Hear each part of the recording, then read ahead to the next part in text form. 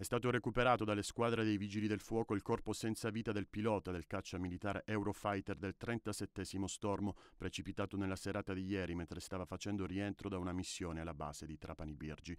Il ritrovamento è avvenuto nella zona di Loco Grande, a pochi chilometri a nord di Marsala, dove l'aereo si è schiantato per cause ancora da accertare. Le ricerche, svolte con l'ausilio di palloni illuminanti, sono state condotte dai Vigili del Fuoco che hanno individuato, insieme ad un team dell'aeronautica militare, i resti del caccia nell'alveo di un fiume. Il pilota morto nell'impatto si chiamava Fabio Antonio Altruda, 33 anni, originario di Caserta. Stava rientrando alla base da una missione di addestramento quando prima di avviarsi all'atterraggio è precipitato al suolo. L'impatto che non ha causato danni ad altre persone o cose è avvenuto in una zona agricola circa due miglia a sud-est della base aerea siciliana.